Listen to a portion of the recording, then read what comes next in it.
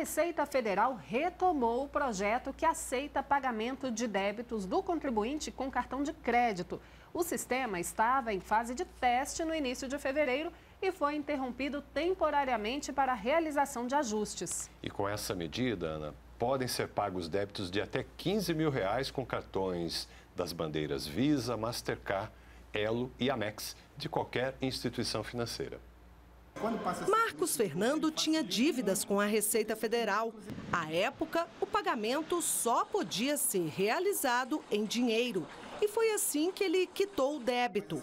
Mas o servidor público avalia que a possibilidade de pagar com cartão de crédito é uma vantagem para o contribuinte, que facilita a vida de quem está devendo. Quando passa a ser política de governo, facilita muito porque se permite, inclusive, que as pessoas possam planejar, possam gastar o dinheiro delas em outras coisas que elas precisam investir, elas possam organizar os seus parcelamentos, porque as pessoas, principalmente as que têm uma renda um pouco menor, elas gostam muito de se programar né, parcelando. Elas têm essa tradição no Brasil de parcelar as contas. E é importante, é uma grande conquista, sim.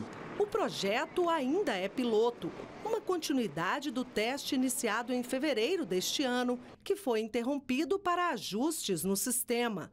Por ele, débitos de até 15 mil reais podem ser pagos com cartões de crédito Visa, Mastercard, Amex e Elo. Nesta fase, poderão ser pagos os documentos de arrecadação de receitas federais, os DARF, emitidos pela Receita Federal e também DARF do Regularize e do Simples Nacional, Cicalc Web, parcelamentos ordinários e simplificados da Receita Federal e o PGDASD ou o DASN-CIMEI, para as multas por atraso na entrega das declarações do Simples Nacional.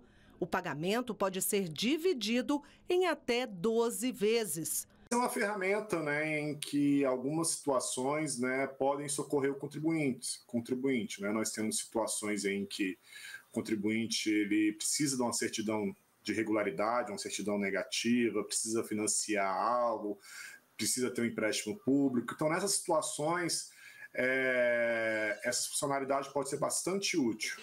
O sistema é implementado em parceria com o Banco do Brasil.